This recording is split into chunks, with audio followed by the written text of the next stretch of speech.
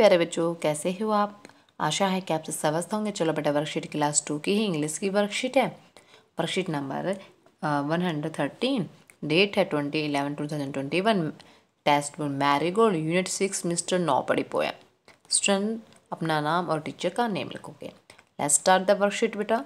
सबसे पहले देखते हैं you must have read the poem सबसे पहले आप क्या करोगे मिस्टर नोबडी पोएम रीड करोगे and enjoy it also the poem mister Nobody describe as quite funny mischievous और now circle qualities given below which describe you बेटा यहाँ पर कुछ क्वालिटीज़ दी गई है।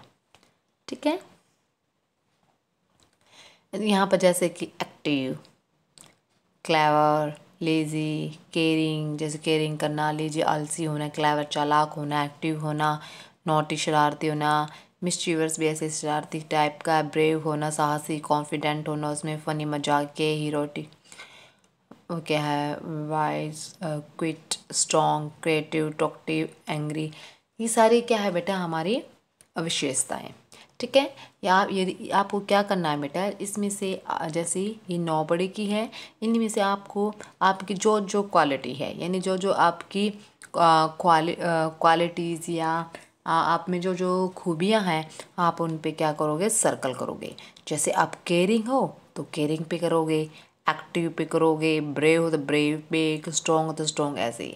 या यदि आप लेज़ी हो तो लेज़ी पे करोगे फनी पे करोगे, जैसे हो आप, वैसे अकॉर्डिंग इन पे सर्कल करोगे। क्वेश्चन पे देखो now find the pairs of flowers with rhyming words कुछ पेयर्स दी गई, बेटा, यहाँ फाइंड द पेयर्स ढूँढने हमें फ्लावर्स में।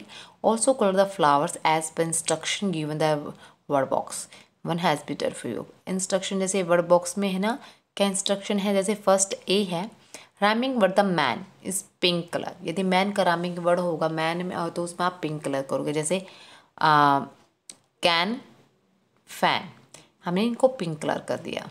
उसके बाद है B rhyming word the funny in green colour जहाँ फनी होगा या उसके रिलेटेड कलर होंगे, हमें उस पर ग्रीन कलर करना है। जैसे, बने। ठीक है बेटा? आप इन पे कलर जैसे ये कर दिया हमने। सनी।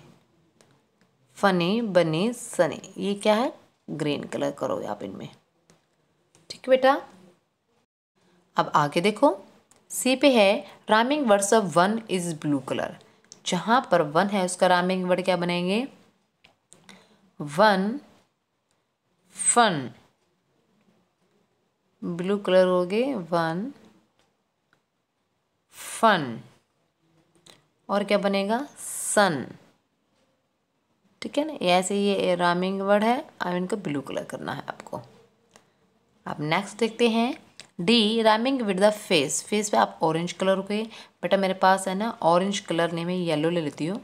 ऑरेंज कलर करोगे जहाँ पर फेस लेस ठीक है? मेस ऐसे कलर करोगे। नेक्स्ट ई है आपका। Rhyming words of the house is a red colour जहाँ पर हाउस है रैमिंग वर्ड है वो आप में रेड कलर करोगे। हाउस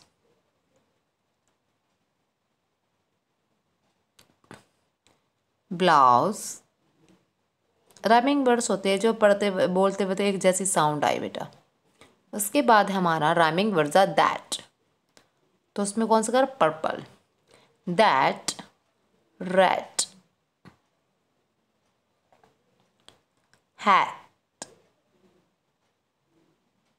ऐसे अपन में कलर करना है।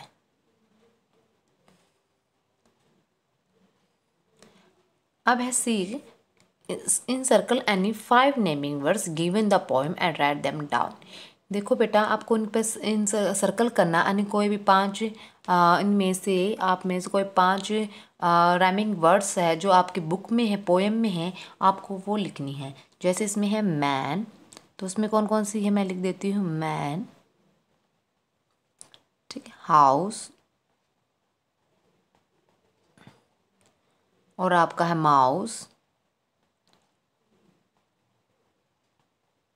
और आपका क्या है? Face F A C E face और का का?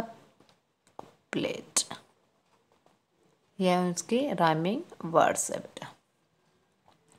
अब नेक्स्ट देखते हैं।